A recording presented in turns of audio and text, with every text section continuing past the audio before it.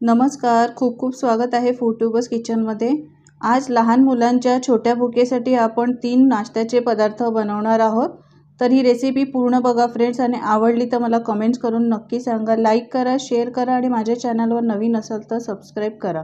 चला तर रेसिपीला सुरुवात करूया. तर सगळ्यात आधी आपण पोह्याची रेसिपी बनवणार आहोत. तर इथे मी एक वाटी पोहे घेतलेले आहेत. आता हे दोन ते तीन वेळा स्वच्छ पाण्याने धुवून घ्यायचे आहेत. पोहे मी स्वच्छ धुवून घेतलेले आहेत. यानंतर यातील पाणी काढून टाकायचं आहे. आणि दहा मिनटं असेच ठेवायचे आहेत. दहा मिनटानंतर एका बाऊलमध्ये हे पोहे काढून घ्यायचे आहेत. यामध्ये एक बारीक चिरलेला कांदा घालायचा आहे. बारीक चिरलेली कोथिंबीर घालायची आहे. चवीप्रमाणे मीठ घालून घेऊया. एक चमचा साखरसुद्धा घालायची आहे. आता अर्धा लिंबाचा रस पिळायचा आहे. यानंतर आपण फोडणी बनवणार आहोत. तर इथे मी तडका पॅन ठेवलेला आहे. तेल घालायचं आहे. एक चमचा राई आणि एक चमचा जिरं घालायचं आहे. दहा बारा कढीपत्त्याची पानं आणि बारीक चिरलेली हिरवी मिरची घालायची आहे. थोडेसे शेंगदाणे मी घेतलेले आहेत. ते सुद्धा या तेलामध्ये असेच फ्राय करून घ्यायचे आहेत. आता ही फोडणी आपण पोह्यावर घालून घ्यायची आहे. सगळं व्यवस्थित मिक्स करून घेऊया. झटपट बनणारे हे दडपे पोहे आपले तयार झालेले आहेत. छोट्या मुलांच्या भुकेसाठी आई मला भूक लागली म्हणत असतील तर असे झटपट त्यांना हे पोहे बनवून द्या. जास्त वेळ लागत नाही आणि लवकर बनतात. खायलासुद्धा खूपच टेस्टी आणि पौष्टिकसुद्धा आहे. तर झटपट बनणारे दडप्या पोह्याचा हा पहिला प्रकार तुम्हाला कसा वाटला कमेंट्समध्ये मला नक्की सांगा आणि अशा पद्धतीने तुम्ही हे दडपे पोहे मुलांना नक्कीच बनवून द्या. आता बघूया दुसरा प्रकार. तर यासाठी मी मिक्सरचं भांडं घेतलं आहे. रफली चॉप करून दोन टोमॅटे घातलेले आहेत. एक वाटी पोहे घेतले आहेत. हे मी चांगले स्वच्छ धुवून दहा मिनटं भिजवत ठेवलेले होते. नरम झालेले हे पोहेसुद्धा मिक्सरच्या भांड्यात घालायचे आहेत. यानंतर मी दोन चमचे मूगडाळ घेतलेली आहे. ही मूगडाळ मी भिजवून ठेवलेली होती दहा मिनटं पाण्यामध्ये. यानंतर एक चमचा लाल तिखट घालायचं आहे. एक चमचा जिरं घालूया. आल्याचा तुकडा घालायचा आहे एक इंच आलं घेतलेलं आहे. थोडंसं पाणी घालायचं आहे आणि झाकण लावून मिक्सरला याची बारीक पेस्ट करून घ्यायची आहे. तर तुम्ही पाहू शकता अशा पद्धतीने मी ही बारीक पेस्ट बनवून घेतलेली आहे. जास्त पातळ आधी करायचं नाही. आता ही पेस्ट आपण एका बाउलमध्ये सगळी काढून घेऊया. तर सगळी पेस्ट मी काढून घेतली आहे. मिक्सरचं भांडं धुवूनच यामध्ये थोडंसं पाणी घालायचं आहे. सगळं व्यवस्थित मिक्स करून घेऊया. आता यामध्ये एक चमचा मीठ घालायचं आहे. आणि पुन्हा एकदा मिक्स करून घ्यायचं आहे. तुम्ही पाहू शकता अशा पद्धतीने आपल्याला बॅटर हवं आहे. आता या बॅटरमध्ये बारीक चिरलेली कोथिंबीर घालूया.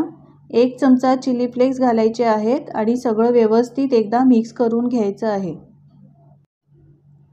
व्यवस्थित सगळं ढवळून मिक्स करून घेऊया. तुम्ही पाहू शकता बॅटर कसं तयार झालेलं आहे. आपल्याला अशा पद्धतीचं बॅटर हवं आहे. आता झाकण ठेवून दहा ते पंधरा मिनटं हे बॅटर आपण आता असंच ठेवून देणार आहोत. तर पंधरा मिनटाने मी बॅटर चेक केलं तुम्ही पाहू शकता. छान थिकनिंग आलेली आहे आपलं बॅटर अजून घट्ट थोडं झालेलं आहे. आता एकदा मिक्स करून घेऊया. आता इथे गॅसवर मी पॅन गरम करायला ठेवलेला आहे. याला तेल लावून चांगलं घ्यायचं आहे. सगळ्या बाजूनी तेल लावून ग्रीस करून घ्यायचं आहे. यानंतर टॉमॅटोचं बॅटर जे आपण बनवलं होतं ते यावर घालायचं आहे. सावकाश हळूच असं पसरवून घ्यायचं आहे. गॅस सुरुवातीला फास्ट करून पॅन गरम करायचा आहे आणि त्यानंतर गॅस एकदम बंद करायचा आहे. तुम्ही पाहू शकता वरून डोसा आपला छान शेकला आहे. आता पलटवून दुसऱ्या बाजूनीसुद्धा चांगला शेकून घेऊया. हा टॉमॅटो डोसा आपण बनवणार आहोत आणि हा खायला खूपच टेस्टी लागतो. तर अशा पद्धतीने तुम्ही नवीन प्रकार म्हणून टॉमॅटोचा डोसा बनवू शकता. तर हा टॉमॅटोचा डोसा तयार झालेला आहे. अशाच प्रकारे बाकीचे सुद्धा डोसे बनवून घ्यायचे आहेत. तर मी इथे डोसे बनवून घेतलेले आहेत.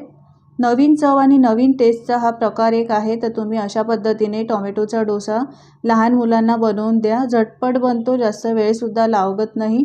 इथे आपल्याला ना कुठलं बॅटर बनवून फर्मेंट करायची गरज आहे.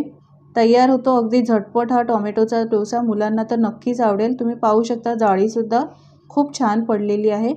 सॉसबरोबर किंवा हिरव्या चटणीबरोबर तुम्ही हा टॉमॅटोचा डोसा देऊ शकतात.